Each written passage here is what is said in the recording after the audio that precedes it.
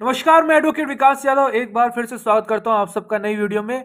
BCI का एक important update आया लेटेस्ट अपडेट आया। जैसे आपको पता है कि अगर आपने इंडिया से अगर आपने एलएलबी नहीं करी है, किसी फॉरेन यूनिवर्सिटी से एलएलबी करी है, और उसके बाद आप इंडिया में प्रैक्टिस करना चाह रहे हो एज ए एडवोकेट तो आपको एक क्वालिफाई एग्ज़ाम बीसीआई के द्वारा जो कंडक्ट कराया जाता है, उसको पास करना पड़ता है। जैसे अगर आपने इंडिया से करी एलएलबी तो आपको एआईबी क्लियर करना पड़ता है ऑल इंडिया बार एग्ज़ाम लेकिन अगर आपने इंडिया से बाहर किसी यूनिवर्सिटी से किया है तो आपको फिर ये वाला एग्ज़ाम देना पड़ता है। उसी का रिज़ल्ट आया है।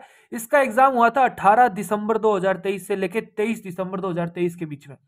तो गौर करने वाली बात यह है कि अपना ए आई बी एटीन का एग्ज़ाम हुआ था 10 दिसंबर को, और उसकी अभी तक फाइनल रिवाइज्ड आंसर की भी नहीं आई है, और इसका फाइनल रिज़ल्ट आ चुका है। तो आप एक्सपेक्ट कर सकते हो कि आपका भी रिज़ल्ट अभी आने वाला है कुछ टाइम में। तो result of nineteen bar council of India qualifying examination for Indian national holdings foreign law degrees 18 दिसंबर से लेकर 23 दिसंबर के बीच का एग्ज़ाम था, इसको आप डाउनलोड करोगे तो ये आपके सामने एक पीडीएफ खुल के आएगी। तो इसके अंदर देख लेते हैं क्या रिज़ल्ट होता है, और ये चार मार्च को पब्लिश हुआ है, ठीक है? चार मार्च आप देख पा रहे हो गए यहाँ पे कि चार मार्च को पब्लिश किया गया है।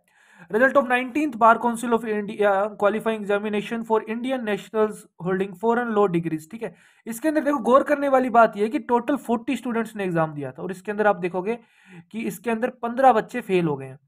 अगर थोड़ा सा आप अंदाज़ा लगाओगे, फोर्टी परसेंट फेल का रेशियो है इसके अंदर, ठीक है?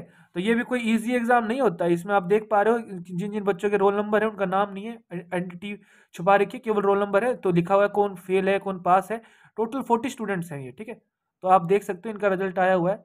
जो अगर किसी के आपके किसी रिलेटिव ने दे रखा होगा तो आप उसको इन्फॉर्म कर देना कि भाई आपका रिज़ल्ट आ चुका है, आप चेक कर सकते हो। वेबसाइट पे जाके बीसीआई की वेबसाइट पे लेटेस्ट अपडेट वाले कॉलम में आपको ये मिलेगा। तो आप भी अपना ए आई बी एटीन का जो रिज़ल्ट है एक्सपेक्ट कर सकते हो कि आने वाला है, क्योंकि ये एग्ज़ाम आपका दस दिसंबर को हुआ था। ठीक है?